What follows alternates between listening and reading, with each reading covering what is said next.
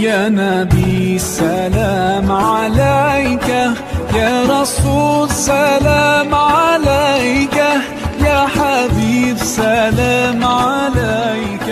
صلوات الله سبسکرائب کیجیے ہمارے چینل اور دبائیے بیل کا آئیکن تاکہ آپ کو ریگولر نوٹیفیکیشن اپڈیٹس مل سکے۔ ایک وقت ایسا آیا کہ اللہ تعالیٰ نے حضرت ابراہیم کو بہت زیادہ مال عطا فرمایا۔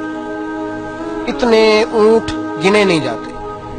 گائیں اتنی زیادہ کہ شمار نہیں ہوتی۔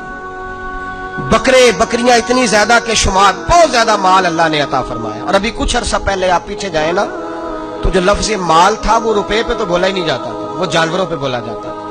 بہت زیادہ مال اللہ نے دیا، بکریاں گائیں اونٹ، بیل، بڑا کچھ۔ تو رب کریم نے فرشتوں سے فرمایا کہ وَاتَّخَذَ اللَّهُ ابراہیم خلیلا ابراہیم میرا دوست ہے۔ تو فرشتے کہنے لگے، یا اللہ جسے اتنا کچھ دیا جائے، اس نے دوست تو بننا ہی ہوتا ہے۔ وہ نوازا ہی بڑا ہے، اتنا مال، اتنے کھیت، کھلیان، اتنا کچھ۔ اللہ کریم نے فرمایا، جاؤ، آزمائش کر لو، امتحان لے لو۔ فرشتہ امتحان لینے پہنچ گیا۔ حضرت ابراہیم کے جانور چر رہے ہیں، چراگاہ میں۔ حضرت ابراہیم بھی ہیں، غلام بھی ہیں۔ بہت بڑا ریوڑ ہے۔ آپ تشریف فرمائے ایک فرشتہ آیا تو کھیت میں چھپ کے بیٹھ گیا۔ اور بلند آواز سے کہنے لگے، سبحان اللہ والحمد للہ ولا الہ الا اللہ، واللہ اکبر۔ اب وہ حضرت سیدنا ابراہیم علیہ السلام کھڑے تھے تو وہ کھیت میں بیٹھ کے تسبیح پڑھنے لگا۔ سبحان اللہ والحمد للہ ولا الہ الا اللہ حضرت ابراہیم کہنے لگے، یہ میرے رب کا نام کون لے رہا ہے؟ بڑی اس کی میٹھی آواز ہے۔ بڑی؟ کون ہے؟ ڈھونڈنے لگے، گھومتے گھومتے اس کے پاس چلے گئے، فرشتہ انسانی شکل میں۔ تو میرے رب کا ذکر کر رہا تھا؟ اس نے کہا، میں ہی کر رہا تھا۔ فرمانے لگے، یار، ایک دفعہ پھر نہیں کرتا۔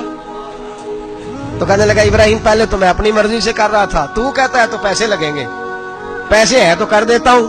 حضرت ابراہیم کہنے لگے، بول تو کیا لے گا؟ میرے اللہ کا ذکر سنانے کا کیا لے گا؟ کہنے لگا، جتنی بکریاں آپ چرا رہے ہیں، ساری دے دے تو میں اللہ کا ذکر سنا دیتا ہوں۔ آپ نے فرمایا، بس، جا تیری ساری ہوئی، میرے رب کا ذکر سنا۔ اور پھر شروع کا ہو گیا، سبحان اللہ، الحمد للہ، ولا الہ الا اللہ، واللہ اکبر۔ حضرت ابراہیم علیہ السلام کیف میں، یار پھر ذرا سنا۔ نا علمہ وچ پھسا سانو تو یار دی گل سنا سانو۔ ذرا دوبارہ سنا، میں پھر سنایا۔ ایک دفعہ پھر کہا پھر کہا۔ رشتہ کہنے لگا بس جی آپ کے پیسے پورے ہو گئے۔ حضرت ابراہیم کہنے لگے، چل ایک دفعہ اور سنا۔ کہنے لگا، پیسے لگیں گے، تو کیا لے گا؟ کہنے لگا گائیں بھینسیں، ساری میری۔ فرمایا بس جی، یار، اتنی قیمت تو سنا صحیح، سارا کچھ ہی تیرا۔ پھر شروع ہو گیا، سبحان اللہ۔ والحمد للہ ولا الہ الا اللہ۔ واللہ اکبر۔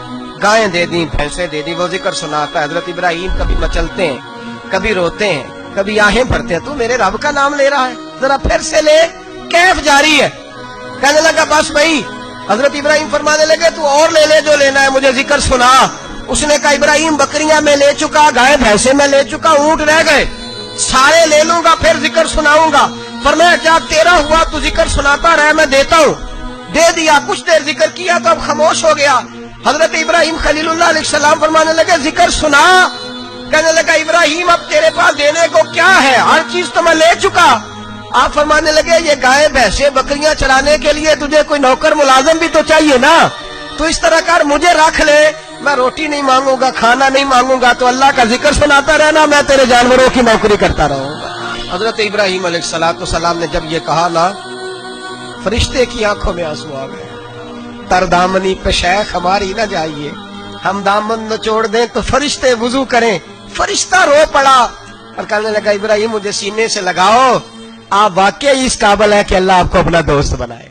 يا نبي سلام عليك يا رسول، سلام عليك يا حبيب سلام عليك صلوات